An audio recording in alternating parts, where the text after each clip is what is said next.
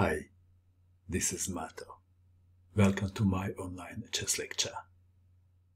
In this video I will show you a game between Herman Steiner and a known player. This game was played in California in 1945. Herman Steiner had white pieces and he started with e4. A known player played e5. Knight to f3, knight to c6, bishop to c4, the Italian opening, knight to f6, two knights defense, and now knight to g5, the fried liver attack. Black to move, d5, e takes on d5, knight takes on d5, knight to a5 would be a better move. Knight takes on d5, and now white plays the obvious. What is the obvious? Knight takes pawn on f7, forking the queen and the rook. King takes knight, queen to f3, check, forking the king and the knight on d5. King to e6, defending the knight. Knight to c3, more pressure on the knight on d5. Black to move. Knight to b4, defending the knight on d5 and threatening. Knight takes pawn on c2 check, winning the rook. How to defend the pawn on c2? What would you do? Perhaps bishop to b3 comes to mind. Herman Steiner played a3. Oh no! And now knight takes on c2 check, and black is winning the rook. What a disaster! King to d1, knight takes rook. Knight takes on d5. King to d6. Black is a rook up. And if he can bring his king to safety, he is going to win, if kings can fly. White to move. How would you continue in this position if you had white pieces?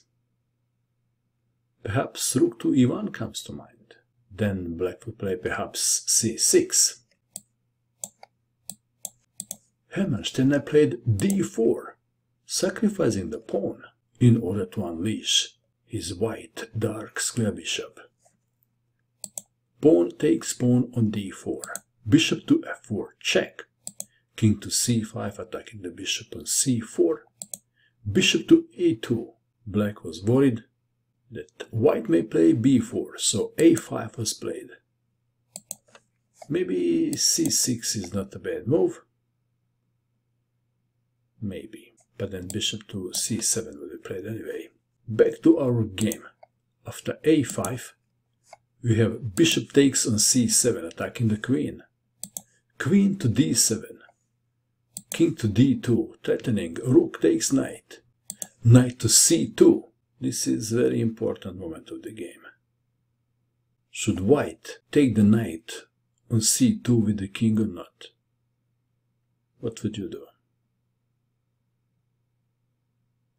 Herman played rook to c1.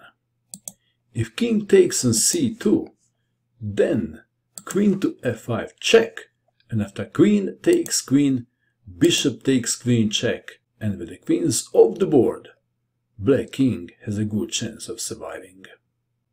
So it was very important not to take the knight with the king. Rook to c1, pinning the knight.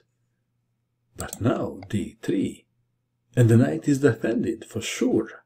Maybe, maybe not. Play with white pieces played. Rook takes knight, check, to clear the path for the queen. d takes on c2, Queen to c3 check. King to b5. White to move and to checkmate in one. The move is in a slow motion. Check mate. Wow, what a violent game. What do you think of this game? And that is all. I hope that you enjoyed watching this video. I wish you good luck with your chess and bye for now.